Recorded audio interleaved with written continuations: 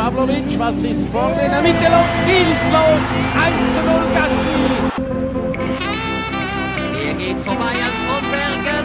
Bobo Gashi 1 zu 0 für GC. Das ist effizient. Besser geht's nicht. Bedient Ben Khalifa und verlangt den Ball zurück, doch Ben Khalifa lugt zu Gashi und das ist die richtige Entscheidung.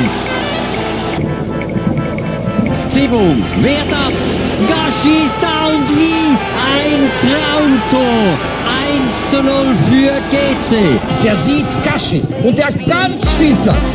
Gashi, Torausgleich, 58. Minute.